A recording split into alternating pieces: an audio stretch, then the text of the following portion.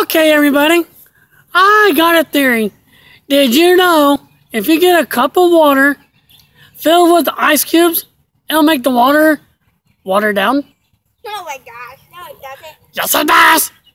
So next You time, You can't water down water because water will always stay water. You're just adding more water to the water you already have. Logic.